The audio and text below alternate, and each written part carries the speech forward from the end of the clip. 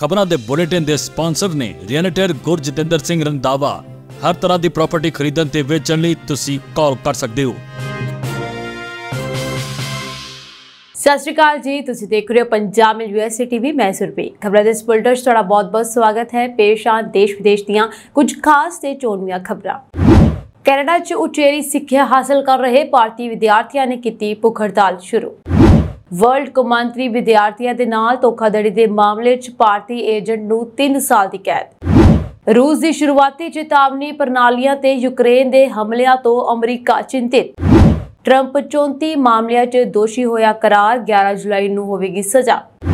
Trump ਦੀ ਸਾਬਕਾ ਵਕੀਲ Jenna Alice ਦਾ 3 ਸਾਲ ਲਈ ਲਾਇਸੈਂਸ ਹੋਇਆ ਮੁਅੱਤਲ। ਹੁਣ ਇਹਨਾਂ ਖਬਰਾਂ ਦਾ ਵਿਸਥਾਰ।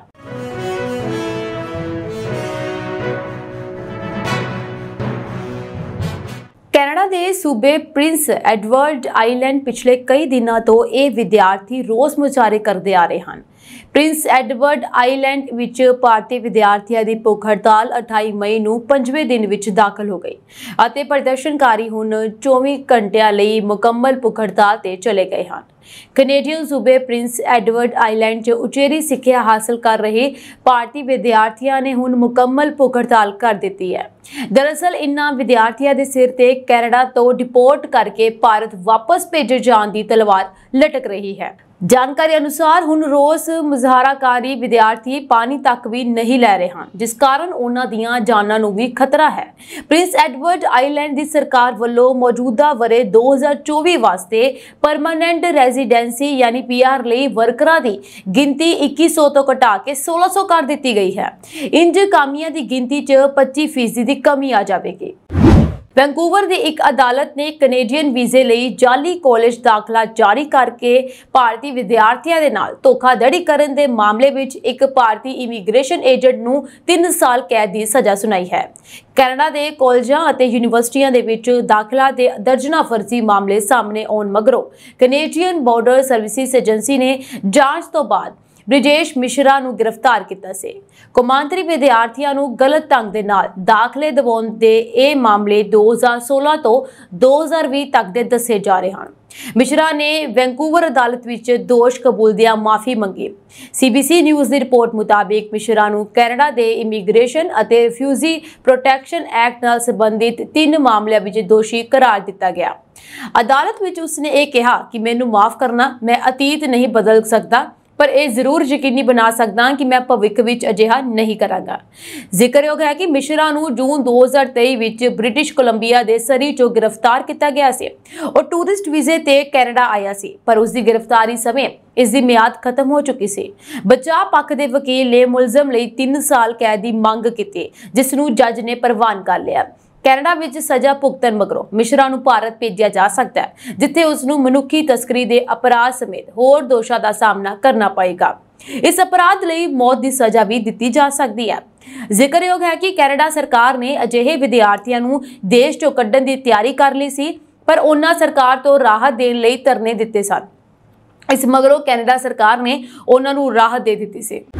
ਅਮਰੀਕਾ ਨੇ ਯੂਕਰੇਨ ਵੱਲੋਂ ਰੂਸ ਦੀ ਮਿਜ਼ਾਈਲ ਸ਼ੁਰੂਆਤੀ ਚੇਤਾਵਨੀ ਪ੍ਰਣਾਲੀਆਂ ਤੇ ਹਮਲਾ ਕਰਨ ਦੀਆਂ ਕੋਸ਼ਿਸ਼ਾਂ ਤੇ ਚਿੰਤਾ ਪ੍ਰਗਟਾਈ ਹੈ ਅਤੇ ਨਾਲ ਹੀ ਕਿਹਾ ਹੈ ਕਿ ਇਸ ਨਾਲ ਸਥਿਤੀ ਅਸਥਿਰ ਹੋਣ ਦਾ ਖਤਰਾ ਹੈ।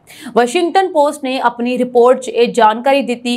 ਰਿਪੋਰਟ ਅਨੁਸਾਰ ਇੱਕ ਅਧਿਕਾਰੀ ਨੇ ਨਾਮ ਗੁਪਤ ਰੱਖਣ ਦੀ ਸ਼ਰਤ ਤੇ ਕਿਹਾ ਕਿ ਅਮਰੀਕਾ ਰੂਸੀ ਬੈਲਿਸਟਿਕ ਮਿਜ਼ਾਈਲ ਸ਼ੁਰੂਆਤੀ ਚੇਤਾਵਨੀ ਪ੍ਰਣਾਲੀਆਂ ਦੇ ਖਿਲਾਫ ਯੂਕਰੇਨ ਦੇ ਹਾਲੀ ਦੇ ਹਮਲਿਆਂ ਨੂੰ ਲੈ ਕੇ ਚਿੰਤਿਤ ਹੈ। ਉਸਨੇ ਕਿਹਾ ਕਿ ਅਮਰੀਕਾ ਨੇ ਯੂਕਰੇਨ ਨੂੰ ਪਿਛਲੇ ਹਫ਼ਤੇ ਰਵਾਇਤੀ ਹਵਾਈ ਰੱਖਿਆ ਦੇ ਨਾਲ-ਨਾਲ ਰਡਾਰ ਸਟੇਸ਼ਨਾਂ ਵਿਰੁੱਧ ਦੋ ਵਾਰ ਕੀਤੇ ਗਏ ਹਨ। ਹਮਲੇ ਬਾਰੇ ਆਪਣੀਆਂ ਚਿੰਤਾਵਾਂ ਤੋਂ ਜਾਣੂ ਕਰਵਾਇਆ, ਜੋ ਪੱਛਮੀ ਪਰਮਾਣੂ ਲਾਂਚ ਦੀ ਚੇਤਾਵਨੀ ਦਿੰਦੇ ਹਨ। ਉਹਨਾਂ ਨੇ ਕਿਹਾ ਕਿ ਇਹ ਪ੍ਰਣਾਲੀਆਂ ਯੂਕਰੇਨ ਵਿਰੁੱਧ ਰੂਸ ਦੀ ਲੜਾਈ ਦਾ ਸਮਰਥਨ ਕਰਨ ਵਿੱਚ ਸ਼ਾਮਲ ਨਹੀਂ ਹਨ। ਪਰ ਇਹ ਸੰਵੇਦਨਸ਼ੀਲ ਸਥਾਨ ਹਨ, ਕਿਉਂਕਿ ਰੂਸ ਮਹਿਸੂਸ ਕਰਦਾ ਹੈ ਕਿ ਉਸ ਦੀਆਂ ਰਣਨੀਤਿਕ ਰੁਕਾਵਟ ਸਮਰਥਾਵਾਂ ਨੂੰ ਨਿਸ਼ਾਨਾ ਬਣਾਇਆ ਜਾ ਰਿਹਾ ਹੈ, ਜੋ ਕਿ ਸੰਯੁਕਤ ਰਾਜ ਦੇ ਵਿਰੁੱਧ ਪਰਮਾਣੂ ਰੋਕਥਾਮ ਨੂੰ ਬਣਾਈ ਰੱਖਣ ਲਈ ਜ਼ਰੂਰੀ ਹਨ। ਅਖਬਾਰ ਨੇ ਯੂਕਰੇਨ ਦੇ ਇੱਕ ਅਧਿਕਾਰੀ ਦੇ ਹਵਾਲੇ ਦੇ ਨਾਲ ਇਹ ਕਿਹਾ ਕਿ ਯੂਕਰੇਨ ਦਾ ਮਿਲਟਰੀ ਇੰਟੈਲੀਜੈਂਸ ਡਾਇਰੈਕਟੋਰੇਟ ਇਨ੍ਹਾਂ ਹਮਲਿਆਂ ਲਈ ਜ਼ਿੰਮੇਵਾਰ ਹੈ। ਯੂਐਸ ਮੀਡੀਆ ਵਿੱਚ ਪਹਿਲਾਂ ਦੀਆਂ ਰਿਪੋਰਟਾਂ ਵਿੱਚ ਸੁਝਾਅ ਦਿੱਤਾ ਗਿਆ ਸੀ ਕਿ ਬਾਈਡਨ ਪ੍ਰਸ਼ਾਸਨ ਯੂਕਰੇਨ ਤੇ ਅਮਰੀਕੀ ਦੁਆਰਾ ਸਪਲਾਈ ਕੀਤੇ ਗਏ ਹਥਿਆਰਾਂ ਦੇ ਨਾਲ ਰੂਸੀ ਖੇਤਰ ਤੇ ਟੀਚਿਆਂ ਤੇ ਹਮਲਾ ਕਰਨ ਲਈ ਪਾਬੰਦੀਆਂ ਹਟਾਉਣ ਬਾਰੇ ਵਿਚਾਰ ਕਰ ਰਿਹਾ। ਹਾਲਾਂਕਿ ਪਹਿਲਾਂ ਦੇ ਬਿਆਨਾਂ ਵਿੱਚ ਕਿਹਾ ਗਿਆ ਸੀ ਕਿ ਉਸਨੇ ਅਜਿਹਾ ਅਧਿਕਾਰ ਨਹੀਂ ਦਿੱਤਾ ਹੈ। ਡੋਨਲਡ ਟਰੰਪ ਨੂੰ ਨਿਊਯਾਰਕ ਵਿੱਚ ਇਤਿਹਾਸਕ ਹਸ਼ਮਨੀ ਅਪਰਾਧਿਕ ਮਾਮਲੇ ਵਿੱਚ ਕਾਰੋਬਾਰੀ ਰਿਕਾਰਡਾਂ ਵਿੱਚ ਹੇਰਾਫੇਰੀ ਕਰਨ ਦੇ ਸਾਰੇ 34 ਮਾਮਲਿਆਂ ਵਿੱਚ ਦੋਸ਼ੀ ਠਹਿਰਾਇਆ ਗਿਆ ਹੈ। ਇਹ ਪਹਿਲੀ ਵਾਰ ਹੈ ਕਿ ਕਿਸੇ ਸਾਬਕਾ ਜਾਂ ਮੌਜੂਦਾ ਅਮਰੀਕੀ ਰਾਸ਼ਟਰਪਤੀ ਨੂੰ ਕਿਸੇ ਅਪਰਾਧ ਲਈ ਦੋਸ਼ੀ ਠਹਿਰਾਇਆ ਗਿਆ ਹੈ। 12 ਜਿਊਰੀ ਮੈਂਬਰਾਂ ਨੇ ਸਰਬਸੰਮਤੀ ਨਾਲ ਫੈਸਲਾ ਸੁਣਾਉਣ ਤੋਂ ਪਹਿਲੇ 2 ਦਿਨਾਂ ਤੱਕ ਵਿਚਾਰ ਵਟਾਂਦਰਾ ਕੀਤਾ। ਉਹਨਾਂ ਨੂੰ 11 ਜੁਲਾਈ ਨੂੰ ਸਜ਼ਾ ਸੁਣਾਈ ਜਾਵੇਗੀ। ਸਾਬਕਾ ਰਾਸ਼ਟਰਪਤੀ ਨੂੰ ਜੇਲ੍ਹ ਹੋ ਸਕਦੀ ਹੈ, ਪਰ ਕਾਨੂੰਨੀ ਮਾਹਰਾਂ ਦਾ ਕਹਿਣਾ ਹੈ ਕਿ ਜੁਰਮਾਨਾ ਲਗਾਉਣਾ ਵਧੇਰੇ ਸੰਭਾਵਿਤ ਨਤੀਜਾ ਹੈ। ਡੋਨਲਡ ਟਰੰਪ ਦੇ ਦੋਸ਼ ਹੈ ਕਿ ਉਸਨੇ ਆਪਣੇ ਤਾਕਤਵਰ ਵਕੀਲ ਕੋਹੇਨ, ਜੋ ਹੁਣ ਵਿਰੋਧੀ ਬਣ ਚੁੱਕਿਆ ਹੈ ਉਸ ਰਾਹੀਂ ਪੋਰਨ ਸਟਾਰ ਸਟੋਰਮੀ ਡੈਨੀਅਲਸ ਨੂੰ ਪੈਸੇ ਮੁਹੱਈਆ ਕਰਵਾਏ ਹਨ ਤਾਂ ਕਿ ਉਹ ਉਸ ਦੇ ਭੇਤ ਉਜਾਗਰ ਨਾ ਕਰ ਸਕੇ। ਇਹ ਮਾਮਲਾ ਉਹਨਾਂ ਦੇ ਪਹਿਲੀ ਵਾਰ ਅਮਰੀਕਾ ਦਾ ਰਾਸ਼ਟਰਪਤੀ ਚੁਣੇ ਜਾਣ ਤੋਂ ਪਹਿਲਾਂ 2016 ਦਾ ਹੈ। ਉਤੇ ਹੀ ਸਮਾਚਾਰ ਦੇ ਅਨੁਸਾਰ ਜੂਰੀ ਨੇ ਡੋਨਲਡ ਟਰੰਪ ਤੇ ਆਪਣਾ ਫੈਸਲਾ ਸੁਣਾਉਣ ਤੋਂ ਪਹਿਲਾਂ 2 ਦਿਨਾਂ ਵਿੱਚ ਲਗਭਗ 9.5 ਘੰਟੇ ਤੱਕ ਵਿਚਾਰ ਵਟਾਂਦਰਾ ਕੀਤਾ। ਇਸ ਤੋਂ ਬਾਅਦ 12 ਮੈਂਬਰੀ ਜੂਰੀ ਨੇ ਡੋਨਲਡ ਟਰੰਪ ਨੂੰ ਹਸ਼ਮਨੀ ਕੇਸ ਨਾਲ ਸੰਬੰਧਿਤ ਜੁੜੇ ਉਹਨਾਂ ਦੇ ਸਾਰੇ 34 ਮਾਮਲਿਆਂ ਵਿੱਚ ਦੋਸ਼ੀ ਪਾਇਆ। ਜਿਸ ਦਾ ਉਹਨਾਂ ਨੇ ਸਾਹਮਣਾ ਕੀਤਾ ਸੀ। ਜਿਊਰੀ ਦੇ ਫੈਸਲੇ ਦੇ ਸਮੇਂ ਡੋਨਲਡ ਟਰੰਪ ਕੰਧ ਵੱਲ ਮੂੰਹ ਕਰਕੇ ਬੈਠੇ ਸਨ, ਜਦਕਿ ਅਦਾਲਤ ਦੇ ਬਾਹਰ ਉਹਨਾਂ ਦੇ ਸਮਰਥਕ ਅਤੇ ਵਿਰੋਧੀ ਵੱਡੀ ਗਿਣਤੀ ਵਿੱਚ ਇਕੱਠੇ ਹੋਏ ਸਨ। ਫੈਸਲੇ ਤੋਂ ਬਾਅਦ ਅਦਾਲਤ ਤੋਂ ਬਾਹਰ ਆਉਂਦਿਆਂ ਡੋਨਲਡ ਟਰੰਪ ਨੇ ਕਿਹਾ, ਇਹ ਇੱਕ ਧੋਖਾਧੜੀ, ਸ਼ਰਮਨਾਕ ਮੁਕੱਦਮਾ ਸੀ। ਅਸਲੀ ਫੈਸਲਾ 5 ਨਵੰਬਰ ਨੂੰ ਲੋਕ ਸੁਣਾਉਣਗੇ। ਉਹ ਜਾਣਦੇ ਹਨ ਕਿ ਕੀ ਹੋਇਆ ਅਤੇ ਹਰ ਕੋਈ ਜਾਣਦਾ ਹੈ ਕਿ ਇੱਥੇ ਕੀ ਹੋਇਆ ਹੈ। ਇਹ ਫੈਸਲਾ ਟਰੰਪ ਲਈ ਹੈਰਾਨ ਕਰਨ ਵਾਲਾ ਕਾਨੂੰਨ ਫੈਸਲਾ ਹੈ। ਹੁਣ ਉਸ ਨੂੰ ਇਸ ਮਾਮਲੇ ਵਿੱਚ ਜੇਲ੍ਹ ਦੀ ਸਜ਼ਾ ਭੁਗਤਣੀ ਪੈ ਸਕਦੀ ਹੈ। ਸਾਬਕਾ ਰਾਸ਼ਟਰਪਤੀ ਡੋਨਲਡ ਟਰੰਪ ਦੀ ਵਕੀਲ ਜੈਨਾ ਐਲਿਸ ਨੂੰ ਕੋਲੋਰਾਡੋ ਦੀ ਸੁਪਰੀਮ ਕੋਰਟ ਨੇ ਬੀਤੇ ਦਿਨ ਵੱਡਾ ਝਟਕਾ ਦਿੱਤਾ। ਅਦਾਲਤ ਦੇ ਫੈਸਲੇ ਮੁਤਾਬਿਕ ਜੈਨਾ ਦਾ 3 ਸਾਲ ਲਈ ਲੋ ਲਾਇਸੈਂਸ ਮੁਅੱਤਲ ਕਰ ਦਿੱਤਾ ਗਿਆ ਉਸ ਦਾ ਲਾਇਸੈਂਸ ਮੁਅੱਤਲ ਅਮਰੀਕਾ ਦੇ ਜਾਰਜੀਆ ਸੂਬੇ ਵਿੱਚ 2020 ਦੇ ਰਾਸ਼ਟਰਪਤੀ ਚੋਣ ਨਤੀਜਿਆਂ ਨੂੰ ਉਲਟਾਉਣ ਦੀ ਰਣਨੀਤੀ ਵਿੱਚ ਉਸ ਦੀ ਕਥਿਤ ਭੂਮਿਕਾ ਵਿੱਚ ਫੁਲਟਨ ਕਾਉਂਟੀ ਦੇ ਦੋਸ਼ਾਂ ਤੋਂ ਪੈਦਾ ਹੋਇਆ ਸੀ। ਕੋਲੋਰਾਡੋ ਸੁਪਰੀਮ ਕੋਰਟ ਦੇ ਦਸਤਾਵੇਜ਼ਾਂ ਅਨੁਸਾਰ ਸੰਯੁਕਤ ਰਾਜ ਦੇ ਤਤਕਾਲੀ ਰਾਸ਼ਟਰਪਤੀ ਦੇ ਸੀਨੀਅਰ ਕਾਨੂੰਨੀ ਸਲਾਹਕਾਰ ਦੇ ਤੌਰ ਤੇ ਅਤੇ ਉਸ ਦੀ ਮੁੱਢ ਚੋਣ ਮੁਹਿੰਮ ਲਈ ਸਲਾਹਕਾਰ ਵਜੋਂ ਸੇਵਾ ਕਰਦੀ ਹੋਈ, ਐਲਿਸ ਨੇ ਰਾਸ਼ਟਰਪਤੀ ਟੈਲੀਵਿਜ਼ਨ ਅਤੇ ਟਵਿੱਟਰ ਤੇ ਵਾਰ-ਵਾਰ ਗਲਤ ਬਿਆਨਬਾਜ਼ੀ ਕੀਤੀ ਸੀ। ਜਿਸ ਨਾਲ ਅਮਰੀਕੀ ਜਨਤਾ ਦੇ ਵਿਸ਼ਵਾਸ ਨੂੰ ਕਮਜ਼ੋਰ ਕੀਤਾ ਗਿਆ। ਸਨ 2020 ਦੀਆਂ ਰਾਸ਼ਟਰਪਤੀਆਂ ਦੀਆਂ ਚੋਣਾਂ ਵਿੱਚ ਦੱਸਣਯੋਗ ਹੈ ਕਿ ਐਲਿਸ ਲੋਂਗਮੌਂਟ ਕੋਲੋ ਅਕਤੂਬਰ ਵਿੱਚ ਜਾਰਜੀਆ ਵਿੱਚ 2020 ਦੀਆਂ ਚੋਣਾਂ ਦੇ ਨਤੀਜਿਆਂ ਨੂੰ ਉਲਟਾਉਣ ਦੇ ਲਈ ਸਾਬਕਾ ਰਾਸ਼ਟਰਪਤੀ ਦੀ ਕਥਿਤ ਸਾਜ਼ਿਸ਼ ਵਿੱਚ ਝੂਠੇ ਬਿਆਨਾਂ ਦੀ ਸਹਾਇਤਾ ਅਤੇ ਉਕਸਾਉਣ ਦੀ ਗਿਣਤੀ ਲਈ ਉਸ ਨੂੰ ਦੋਸ਼ੀ ਮੰਨਿਆ ਗਿਆ ਸੀ। ਅਦਾਲਤ ਨੇ ਉਸ ਤੇ 5 ਸਾਲ ਦੀ ਪ੍ਰੋਬੇਸ਼ਨਸ ਲਈ ਸਹਿਮਤੀ ਦਿੱਤੀ ਸੀਗੀ। 30 ਦਿਨਾਂ ਦੇ ਅੰਦਰ 5000 ਡਾਲਰ ਦਾ ਮੁਆਵਜ਼ਾ 100 ਘੰਟੇ ਦੇ ਕਮਿਊਨਿਟੀ ਸੇਵਾ ਦਾ ਭੁਗਤਾਨ ਕਰਨ ਦੇ ਬਾਰੇ ਹੁਕਮ ਜਾਰੀ ਕੀਤਾ ਗਿਆ। ਐਲਿਸ ਦੇ ਇਲਾਵਾ ਨਿਊਯਾਰਕ ਦੇ ਸਾਬਕਾ ਮੇਅਰ ਰੂਡੀ ਗਿਓਲਿਆਨੀ ਸਮੇਤ ਟਰੰਪ ਦੇ ਹੋਰ ਸਾਬਕਾ ਟਾਨੀ ਵੀ ਸ਼ਾਮਲ ਹੋਏ, ਜਿਨ੍ਹਾਂ ਨੂੰ ਹੁਣ ਤੱਕ ਮਤਲ ਜਾਂ ਬਰਖਾਸਤ ਕੀਤਾ ਗਿਆ ਹੈ। ਚੋਣ ਨਤੀਜਿਆਂ ਲਈ ਟਰੰਪ ਮੁਹਿੰਮ ਦੀਆਂ ਚੁਣੌਤੀਆਂ ਵਿੱਚ ਉਹਨਾਂ ਨੇ ਕਿਹਾ, ਮੇਰੀ ਸ਼ਮੂਲੀਅਤ ਦੇ ਬਾਅਦ ਤੋਂ ਉਸਨੇ ਇਹ ਲਿਖਿਆ ਕਿ ਮੈਂ ਇਸ ਵਿੱਚ ਸ਼ਾਮਲ ਕੁਝ ਅਦਾਕਾਰਾਂ ਦੇ ਮਾੜੇ ਵਿਸ਼ਵਾਸ ਨਾਲ ਨਜਿੱਠਣ ਅਤੇ ਪੂਰੀ ਤਰ੍ਹਾਂ ਗੈਰ ਕਾਨੂੰਨੀ ਹੋਣ ਬਾਰੇ ਸਿੱਖਿਆ ਹੈ।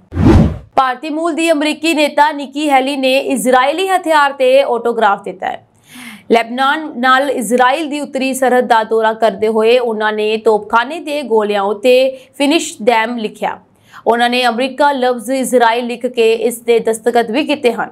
ਸੰਯੁਕਤ ਰਾਸ਼ਟਰ ਵਿੱਚ ਇਜ਼ਰਾਈਲ ਦੇ ਸਾਬਕਾ ਰਾਜਦੂਤ ਅਤੇ ਸੰਸਦ ਮੈਂਬਰ ਡੈਨੀ ਡੈਨਨ ਇਸ ਦੌਰਾਨ ਨਿੱਕੀ ਹੈਲੀ ਦੇ ਨਾਲ ਸਨ। ਉਹਨਾਂ ਨੇ ਇਹ ਤਸਵੀਰ ਸੋਸ਼ਲ ਮੀਡੀਆ ਤੇ ਪੋਸਟ ਕੀਤੀ। ਇਸ ਪੋਸਟ ਵਿੱਚ ਹੈਲੀ ਨੂੰ ਗੋਡਿਆਂ ਪਰ ਬੈਠੇ ਅਤੇ ਬੈਂਗਨੀ ਮਾਰਕਰ ਪੈਨ ਨਾਲ ਇੱਕ ਸ਼ੈਲ ਉਤੇ ਆਪਣੇ ਦਸਤਖਤ ਕਰਦੇ ਹੋਏ ਦੇਖਿਆ ਜਾ ਰਿਹਾ ਹੈ। ਨਿੱਕੀ ਹੈਲੀ ਨੇ ਹਥਿਆਰ ਤੇ ਆਪਣੇ ਨਾਂ ਤੇ ਅਜਿਹੇ ਸਮੇਂ ਦਸਤਖਤ ਕੀਤੇ ਹਨ ਜਦੋਂ ਰਾਫਾ 'ਚ ਇਜ਼ਰਾਈਲੀ ਫੌਜ ਦੇ ਹਮਲਿਆਂ ਨੂੰ ਲੈ ਕੇ ਇਜ਼ਰਾਈਲ ਦੀ ਆਲੋਚਨਾ ਹੋ ਰਹੀ ਹੈ। ਉਧਰ ਇਜ਼ਰਾਈਲੀ ਫੌਜ ਦੇ ਹਮਲੇ 'ਚ ਰਾਫਾ ਸ਼ਰਨਾਰਥੀ ਕੈਂਪ 'ਚ ਰਹਿਣ ਵਾਲੇ 45 ਲੋਕ ਮਾਰੇ ਗਏ ਸਨ ਅਤੇ 200 ਤੋਂ ਜ਼ਿਆਦਾ ਲੋਕ ਜ਼ਖਮੀ ਹੋ ਗਏ ਹਨ। ਰਿਕਾਰਡ ਮੁਤਾਬਿਕ ਗਾਜ਼ਾ 'ਚ ਹੁਣ ਤੱਕ ਜੰਗ 'ਚ ਲਗਭਗ 36096 ਫਲਸਤੀਨੀ ਮਾਰੇ ਜਾ ਚੁੱਕੇ ਹਨ। ਇਨ੍ਹਾਂ ਵਿੱਚੋਂ ਲਗਭਗ 15000 ਬੱਚੇ ਹਨ। ਬ੍ਰਿਟੇਨ ਦੇ ਪ੍ਰਧਾਨ ਮੰਤਰੀ ਰਿਸ਼ੀ ਸੁਨਕ ਨੇ ਬ੍ਰਿਟਿਸ਼ ਸੰਸਦ ਭੰਗ ਕਰ ਦਿੱਤੀ ਹੈ। ਇਸ ਨਾਲ ਬ੍ਰਿਟੇਨ ਦੀ ਸੰਸਦ 'ਚ 650 ਸੰਸਦ ਮੈਂਬਰਾਂ ਦੀਆਂ ਸੀਟਾਂ ਅੱਧੀ ਰਾਤ ਤੋਂ ਇੱਕ ਝਟਕੇ 'ਚ ਖਾਲੀ ਹੋ ਗਈਆਂ। ਹਾਲਾਂਕਿ ਬ੍ਰਿਟੇ- ਬ੍ਰਿਟੇਨ ਦੀ ਮੌਜੂਦਾ ਕੰਜ਼ਰਵੇਟਿਵ ਪਾਰਟੀ ਦੀ ਸਰਕਾਰ ਦਾ ਕਾਰਜਕਾਲ ਦਸੰਬਰ 'ਚ ਪੂਰਾ ਹੋਣਾ ਹੈ। ਬ੍ਰਿਟਿਸ਼ ਨਿਯਮਾਂ ਮੁਤਾਬਿਕ ਇੱਥੇ 28 ਜਨਵਰੀ 2025 ਤੋਂ ਪਹਿਲਾਂ ਅਤੇ 17 ਦਸੰਬਰ ਤੋਂ ਬਾਅਦ ਹੋਣਾ, ਚੋਣਾਂ ਹੋਣੀਆਂ ਹਨ। ਪਰ ਪ੍ਰਧਾਨ ਮੰਤਰੀ ਰਿਸ਼ੀ ਸੁਨਕ ਨੇ 6 ਮਹੀਨੇ ਪਹਿਲਾਂ ਆਪਣੇ ਅਧਿਕਾਰਾਂ ਦੀ ਵਰਤੋਂ ਕਰਦਿਆਂ ਸੰਸਦ ਨੂੰ ਭੰਗ ਕਰ ਦਿੱਤਾ। ਅਜਿਹੇ 'ਚ ਹੁਣ ਬ੍ਰਿਟੇਨ 'ਚ 4 ਜੁਲਾਈ ਨੂੰ ਚੋਣਾਂ ਹੋਣੀਆਂ ਹਨ। ਹੁਣ 4 ਜੁਲਾਈ ਨੂੰ ਹੋਣ ਵਾਲੀਆਂ ਆਮ ਚੋਣਾਂ ਤੋਂ ਪਹਿਲਾਂ ਬਰਤਾਨਵੀ ਸੰਸਦ ਭੰਗ ਹੋਣ ਤੋਂ ਬਾਅਦ ਚੋਣ ਪ੍ਰਚਾਰ ਲਈ ਕਰੀਬ 5 ਹਫ਼ਤੇ ਬਚੇ ਹਨ। ਸੱਤਾਧਾਰੀ ਕੰਜ਼ਰਵੇਟਿਵ ਪਾਰਟੀ ਦੇ 14 ਸਾਲਾਂ ਦੇ ਰਾਜ ਤੋਂ ਬਾਅਦ ਇਸ ਵਾਰ ਵੱਖ-ਵੱਖ ਸਰਵੇਖਣਾਂ ਵਿੱਚ ਲੇਬਰ ਪਾਰਟੀ ਦੇ ਸੱਤਾ ਵਿੱਚ ਆਉਣ ਦੀ ਸੰਭਾਵਨਾ ਜਤਾਈ ਜਾ ਰਹੀ ਹੈ। ਇਸ ਦੇ ਨਾਲ ਹੀ 5 ਹਫ਼ਤਿਆਂ ਦੀ ਚੋਣ ਮੁਹਿੰਮ ਵੀ ਅਧਿਕਾਰਤ ਤੌਰ ਤੇ ਸ਼ੁਰੂ ਹੋ ਗਈ ਹੈ। ਮੌਂਟਰੀਅਲ ਦੇ ਯਹੂਦੀ ਭਾਈਚਾਰੇ ਦੇ ਸਕੂਲ ਦੀ ਇੱਕ ਇਮਾਰਤ ਨੂੰ ਦੁਬਾਰਾ ਨਿਸ਼ਾਨਾ ਬਣਾਇਆ ਗਿਆ। ਗੋਲੀਬਾਰੀ ਦੀ ਘਟਨਾ ਦੀ ਪੁਲਿਸ ਜਾਂਚ ਕਰ ਰਹੀ ਹੈ। ਮੌਂਟਰੀਅਲ ਪੁਲਿਸ ਨੇ ਕਿਹਾ ਕਿ ਉਹਨਾਂ ਨੂੰ ਦੁਪਹਿਰ ਨੂੰ ਇੱਕ 911 ਤੇ ਸੂਚਨਾ ਮਿਲੀ ਅਤੇ Cote des Neiges Notre Dame de Grace borough ਵਿੱਚ ਵੈਨ ਹੋਨ ਐਵੇਨਿਊ ਦੇ ਨੇੜੇ ਹਿਲਸਡੇਲ ਰੋਡ ਤੇ ਬੇਲਜ਼ ਸਕੂਲ ਤੇ ਗੋਲੀ ਚੱਲਣ ਬਾਰੇ ਪਤਾ ਲੱਗਾ। ਪੁਲਿਸ ਦੇ ਬੁਲਾਰੇ ਵੈਰੋਨਿਕ ਨੇ ਕਿਹਾ ਕਿ ਅਧਿਕਾਰੀਆਂ ਨੂੰ ਇਮਾਰਤ ਦੇ ਸਾਹਮਣੇ ਘੱਟੋ-ਘੱਟ ਇੱਕ ਗੋਲੀ ਮਿਲੀ। ਇਹ ਸਪਸ਼ਟ ਨਹੀਂ ਹੈ ਕਿ ਗੋਲੀਬਾਰੀ ਬੁੱਧਵਾਰ ਨੂੰ ਹੋਈ ਸੀ ਜਾਂ ਕਿਸੇ ਹੋਰ ਦਿਨ। ਪੁਲਿਸ ਦਾ ਕਹਿਣਾ ਹੈ ਕਿ ਜਾਂਚ ਜਾਰੀ ਹੈ। ਮੌਂਟਰੀਅਲ ਦੀ ਮੇਅਰ ਵੈਲੇਰੀ ਪਲਾਂਟੇ ਨੇ ਸੋਸ਼ਲ ਮੀਡੀਆ ਤੇ ਗੋਲੀਬਾਰੀ ਦੀ ਨਿੰਦਾ ਕੀਤੀ ਹੈ। ਵੈਸਟਜੈਟ ਐਨਕੋਰ ਪਾਇਲਟ ਵਿੱਚ ਇਸ ਹਫ਼ਤੇ ਦੇ ਅੰਤ ਵਿੱਚ ਕੰਮ ਰੋਕ ਸਕਦੇ ਹਨ। ਜੇਕਰ 72 ਘੰਟੇ ਦੀ ਹੜਤਾਲ ਦੇ ਨੋਟਿਸ ਤੋਂ ਬਾਅਦ 에ਅਰਲਾਈਨ ਨਾਲ ਕੋਈ ਸਮਝੌਤਾ ਨਹੀਂ ਹੁੰਦਾ। 에ਅਰਲਾਈਨ ਪਾਇਲਟ ਐਸੋਸੀਏਸ਼ਨ ਇੰਟਰਨੈਸ਼ਨਲ ਪਾਇਲਟਾਂ ਦੀ ਯੂਨੀਅਨ ਨੇ ਬੁੱਧਵਾਰ ਨੂੰ ਹੜਤਾਲ ਦੇ ਨੋਟਿਸ ਦਾ ਐਲਾਨ ਕਰਦੇ ਹੋਏ ਇਹ ਕਿਹਾ ਕਿ ਇਸ ਦੇ ਮੈਂਬਰ 1 ਜੂਨ ਤੋਂ ਕੰਮ ਰੋਕ ਸਕਦੇ ਹਨ। ਜੇਕਰ ਦੋਵੇਂ ਧਿਰਾਂ ਇੱਕ ਨਵਾਂ ਕੰਟਰੈਕਟ ਤੇ ਸਹਿਮਤ ਨਹੀਂ ਹੁੰਦੀਆਂ ਤੁਹਾਨੂੰ ਦੱਸ ਦਈਏ ਕਿ 2 ਹਫ਼ਤੇ ਪਹਿਲਾਂ ਪਾਇਲਟਾਂ ਵੱਲੋਂ ਅਸਥਾਈ ਸਮਝੌਤੇ ਨੂੰ ਰੱਦ ਕਰਨ ਤੋਂ ਬਾਅਦ ਯੂਨੀਅਨ ਅਤੇ 에ਅਰਲਾਈਨ ਨੇ ਉਜਰਤਾ ਕੰਮ ਦੀਆਂ ਸਥਿਤੀਆਂ ਬਾਰੇ ਸਮਝੌਤਾ ਕੀਤਾ ਸੀ। ALPA ਨੇ ਨੋਟ ਕੀਤਾ ਕਿ ਬਦਲਾਅ ਹੋਇਆ ਪਰ ਮਹੱਤਵਪੂਰਨ ਮੁੱਦੇ ਹਾਲੇ ਵੀ ਲਟਕੇ ਹੋਏ ਹਨ। ਦੱਖਣੀ ਅਲਬਰਟਾ ਵਿੱਚ ਇੱਕ ਗਲਾਈਡਰ ਚਲਾ ਰਹੇ ਇੱਕ ਪਾਇਲਟ ਦੀ ਹਾਦਸੇ ਦੌਰਾਨ ਮੌਤ ਹੋ ਗਈ। ਆਰਸੀਐਮਪੀ ਨੇ ਦੱਸਿਆ ਕਿ ਹਾਦਸਾ ਦੁਪਹਿਰ 1:30 ਵਜੇ ਦੇ ਕਰੀਬ ਹੋਇਆ। ਕੈਲਗਰੀ ਈਐਮਐਸ ਨੇ ਕਿਹਾ ਕਿ ਹਾਦਸਾ ਕਸਬੇ ਵਿੱਚ ਓਕੋਟੋਕਸ ਦੇ ਵਿਚਕਾਰ ਵਾਲੀ ਥਾਂ ਡਾਇਮੰਡ ਵੈਲੀ ਅਲਟਾ ਨੇੜੇ ਹਾਈਵੇ 7 ਦੇ ਦੱਖਣ ਵਿੱਚ ਹੋਇਆ। ਈਐਮਐਸ ਨੇ ਪੁਸ਼ਟੀ ਕੀਤੀ ਹੈ ਕਿ ਆ ਇੱਕ ਆਦਮੀ ਜੋ ਜਹਾਜ਼ ਦਾ ਇਕੱਲਾ ਆਪਰੇਟਰ ਸੀ, ਘਟਨਾ ਸਥਾਨ ਤੇ ਉਸ ਦੀ ਮੌਤ ਹੋ ਗਈ। ਇੱਕ 911 ਕਾਲਰ ਨੇ ਆਰਸੀਐਮਪੀ ਨੂੰ ਦੱਸਿਆ ਕਿ ਇੱਕ ਪਾਇਲਟ ਨੇ ਗੈਰ ਪਾਵਰਡ 에ਅਰਕ੍ਰਾਫਟ ਤੋਂ ਬਾਹਰ ਨਿਕਲਣ ਦੀ ਕੋਸ਼ਿਸ਼ ਕੀਤੀ, ਪਰ ਉਸ ਦਾ ਪੈਰਾਸ਼ੂਟ ਨਹੀਂ ਖੁੱਲਿਆ ਜਿਸ ਕਾਰਨ ਉਹ ਸੈਂਕੜੇ ਫੁੱਟ ਹੇਠਾਂ ਡਿੱਗ ਗਿਆ। ਫਿਰ ਗਲਾਈਡਰ ਖੇਤਰ ਦੇ ਇੱਕ ਖੇਤ ਵਿੱਚ ਡਿੱਗ ਗਿਆ। ਡਾਇਮੰਡ ਵੈਲੀ ਕੈਲਗਰੀ ਤੋਂ ਲਗਭਗ 65 ਕਿਲੋਮੀਟਰ ਦੱਖਣ ਪੱਛਮ ਵਿੱਚ ਸਥਿਤ ਹੈ। ਬੈਂਕ ਆਫ ਮੋਂਟਰੀਅਲ ਦਾ ਕਹਿਣਾ ਹੈ ਕਿ ਕੰਮ ਵਿੱਚ ਰੁਕਾਵਟ ਅਤੇ ਗ੍ਰਾਹਕਾਂ ਦੀਆਂ ਰਿਪੋਰਟਾਂ ਤੋਂ ਬਾਅਦ ਉਸ ਦੀ ਤਕਨੀਕੀ ਟੀਮ ਜਾਂਚ ਕਰ ਰਹੀ ਹੈ। ਐਕਸ ਤੇ ਇੱਕ ਪੋਸਟ ਵਿੱਚ BMO ਨੇ ਬਹੁਤ ਸਾਰੇ ਗ੍ਰਾਹਕਾਂ ਲਈ ਆਨਲਾਈਨ ਬੈਂਕਿੰਗ ਬੰਦ ਹੋਣ ਦੀਆਂ ਸ਼ਿਕਾਇਤਾਂ ਦਾ ਜਵਾਬ ਦਿੰਦੇ ਹੋਏ ਅਸੁਵਿਧਾ ਲਈ ਮਾਫੀ ਮੰਗੀ। ਬੈਂਕ ਦੀ ਵੈਬਸਾਈਟ ਅਤੇ ਮੋਬਾਈਲ ਬੈਂਕਿੰਗ ਐਪ ਦੀ ਵਰਤੋਂ ਕਰਨ ਵਾਲੇ ਕੈਨੇਡਾ ਅਤੇ ਅਮਰੀਕਾ ਦੇ ਗ੍ਰਾਹਕ ਪ੍ਰਭਾਵਿਤ ਪ੍ਰਭਾਵਿਤ ਹੋਏ ਹਨ। ਟੋਰਾਂਟੋ ਵਿਖੇ ਇੱਕ ਟਰੱਕ ਵੱਲੋਂ ਕਾਰ ਨੂੰ ਟੱਕਰ ਮਾਰਨ ਅਤੇ ਮਹਿਲਾ ਡਰਾਈਵਰ ਡਰਾਈਵਰ ਦੇ ਮੁਸ਼ਕਲ ਨਾਲ ਬਾਹਰ ਨਿਕਲਣ ਦੀ ਘਟਨਾ ਨਾਲ ਸੰਬੰਧਿਤ ਵੀਡੀਓ ਬੇहद ਵਾਇਰਲ ਹੋ ਰਹੀ ਹੈ। ਹਾਦਸਾ ਡੈਵਨਪੋਰਟ ਰੋਡ ਦੇ ਦੱਖਣ ਵੱਲ ਐਵੇਨਿਊ ਰੋਡ ਦੇ ਬੁੱਧਵਾਰ ਬਾਅਦ ਦੁਪਹਿਰ ਵਾਪਰਿਆ। ਵੀਡੀਓ ਵਿੱਚ ਦੇਖਿਆ ਜਾ ਸਕਦਾ ਹੈ ਕਿ ਟਰੱਕ ਰੁਕਣ ਦਾ ਨਾਂ ਨਹੀਂ ਲੈ ਰਿਹਾ, ਜਦਕਿ ਕਾਰ ਉਸ ਦੀ ਮਾਰ ਹੇਠ ਆ ਚੁੱਕੀ ਹੈ। ਆਪਣੀ ਜਾਨ ਖਤਰੇ ਵਿੱਚ ਦੇਖ ਕੇ ਕਾਰ ਚਲਾ ਰਹੀ ਔਰ ਛਾਲ ਮਾਰ ਕੇ ਬਾਹਰ ਆ ਜਾਂਦੀ ਹੈ ਅਤੇ ਇਸੇ ਦੌਰਾਨ ਟਰੱਕ ਵੀ ਰੁਕ ਜਾਂਦਾ ਹੈ। ਫਿਲਹਾਲ ਹਾਦਸੇ ਦੇ ਕਾਰਨਾਂ ਬਾਰੇ ਪਤਾ ਨਹੀਂ ਲੱਗ ਸਕਦਾ ਸਕਿਆ ਅਤੇ ਪੁਲਿਸ ਵੱਲੋਂ ਪੜਤਾਲ ਕੀਤੀ ਜਾ ਰਹੀ ਹੈ। ਸਿਟੀ ਦੀ ਰਿਪੋਰਟ ਮੁਤਾਬਿਕ ਇਸ ਇਲਾਕੇ ਵਿੱਚੋਂ ਰੋਜ਼ਾਨਾ ਤਕਰੀਬਨ 30000 ਗੱਡੀਆਂ ਲੰਘਦੀਆਂ ਹਨ ਅਤੇ 2014 ਤੋਂ ਹੁਣ ਤੱਕ 977 ਹਾਦਸੇ ਦਰਜ ਕੀਤੇ ਗਏ ਹਨ। ਪੀਲ ਰੀਜਨ ਅਤੇ ਯਾਕ ਰੀਜਨ ਦੇ ਪੁਲਿਸ ਮਹਿਕਮਿਆਂ ਵੱਲੋਂ ਫੇਸ਼ੀਅਲ ਰੈਕਗਨਾਈਜ਼ ਤਕਨੀਕ ਵਰਤਣ ਦਾ ਐਲਾਨ ਕੀਤਾ ਗਿਆ, ਜਿਸ ਰਾਹੀਂ ਅਪਰਾਧਕ ਮਾਮਲਿਆਂ ਦੀ ਅਸਰਦਾਰ ਤਰੀਕੇ ਨਾਲ ਪੜਤਾਲ ਕੀਤੀ ਜਾ ਸਕੇਗੀ ਤੇ ਅਪਰਾਧੀਆਂ ਦੀ ਸ਼ਨਾਖਤ ਕਰਨ ਵਿੱਚ ਵੀ ਦਿੱਕਤ ਨਹੀਂ ਆਵੇਗੀ। ਦੋਹਾਂ ਪੁਲਿਸ ਮਹਿਕਮਿਆਂ ਕੋਲ ਇਸ ਵੇਲੇ 12 ਲੱਖ ਤੋਂ ਵੱਧ ਤਸਵੀਰਾਂ ਮੌਜੂਦ ਹਨ, ਜਿਨ੍ਹਾਂ ਵਿੱਚੋਂ ਲੋੜੀਂਦੀ ਅਪਰਾਧੀਆਂ ਦੀ ਸ਼ਨਾਖਤ ਤੇਜ਼ੀ ਨਾਲ ਕਰਨ ਵਿੱਚ ਇਹ ਤਕਨੀਕ ਮਦਦ ਕਰੇਗੀ। ਪੀਲ ਰੀਜਨਲ ਪੁਲਿਸ ਦੇ ਸੁਪਰੀਡੈਂਟ ਡੇਵਿਡ ਵੱਲੋਂ ਨਵੇਂ ਸਿਸਟਮ ਨੂੰ ਪੁਲਿਸ ਵਾਸਤੇ ਬੇहद ਅਹਿਮ ਕਰਾਰ ਦਿੱਤਾ ਗਿਆ ਉਹਨਾਂ ਨੇ ਕਿਹਾ ਕਿ ਅਪਰਾਧਕ ਪੜਤਾਲ ਦੌਰਾਨ ਇਹ ਤਕਨੀਕ ਬੇहद ਕਾਰਗਰ ਸਾਬਤ ਹੋ ਸਕਦੀ ਹੈ। ਪੀਲ ਪੁਲਿਸ ਅਤੇ ਯਾਕ ਪੁਲਿਸ ਵੱਲੋਂ ਫੇਸ਼ੀਅਲ ਰੈਕਗਨਾਈਜ਼ ਤਕਨੀਕ ਖਰੀਦਣ 2018 ਵਿੱਚ ਭਾਈਵਾਲੀ ਕੀਤੀ ਗਈ ਅਤੇ 5 ਸਾਲ ਤੋਂ ਵੱਧ ਸਮਾਂ ਆਪਣੀ ਜ਼ਰੂਰਤ ਮੁਤਾਬਿਕ ਤਕਨੀਕ ਨੂੰ ਢਾਲਣ ਤੇ ਖਰਚ ਕੀਤਾ ਗਿਆ।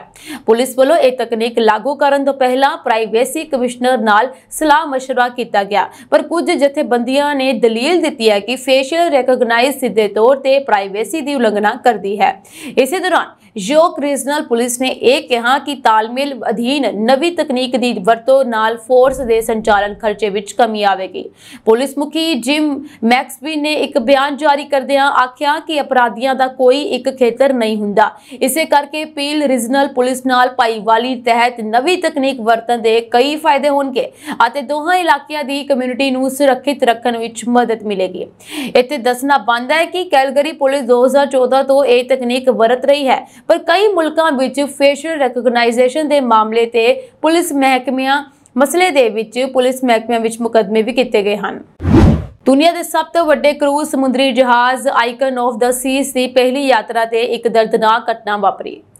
ਐਤਵਾਰ ਸਵੇਰੇ ਇੱਕ ਯਾਤਰੀ ਦੀ ਪਾਣੀ ਵਿੱਚ ਛਾਲ ਮਾਰਨ ਨਾਲ ਮੌਤ ਹੋ ਗਈ। ਇਹ ਘਟਨਾ ਉਦੋਂ ਵਾਪਰੀ ਜਦੋਂ ਜਹਾਜ਼ ਫਲੋਰੀਡਾ ਤੋਂ ਆਪਣੇ ਲੰਬੇ ਸਮੇਂ ਦੇ ਕੈਰਬੀਅਨ ਸਾਹਸ ਲਈ ਰਵਾਨਾ ਹੋਇਆ ਸੀ। ਨਿਊਯਾਰਕ ਪੋਸਟ ਦੀ ਇੱਕ ਰਿਪੋਰਟ ਮੁਤਾਬਿਕ ਅਜੇ ਤੱਕ ਵਿਅਕਤੀ ਦੀ ਪਛਾਣ ਨਹੀਂ ਹੋ ਸਕੀ ਹੈ। ਇਹ ਸਨ ਜੀ ਦੇਸ਼ ਵਿਦੇਸ਼ ਦੀਆਂ ਕੁਝ ਖਾਸ ਤੇ ਚੋਣਵੀਆਂ ਖਬਰਾਂ, ਹੋਰ ਅਪਡੇਟਸ ਨਾਲ ਜੁੜੇ ਰਹਿਣ ਦੇ ਲਈ ਤੁਸੀਂ ਬਨੇ ਰਹੋ ਪੰਜਾਬ ਮਿਲ ਯੂਐਸਏ ਟੀਵੀ ਦੇ ਨਾਲ। ਤੁਹਾਡੇ ਸਭ ਦਾ ਬਹੁਤ ਬਹੁਤ ਧੰਨਵਾਦ।